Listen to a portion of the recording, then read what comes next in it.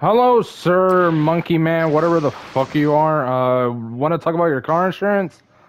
I hate car insurance! Fuck! Why does this always happen to me? Why?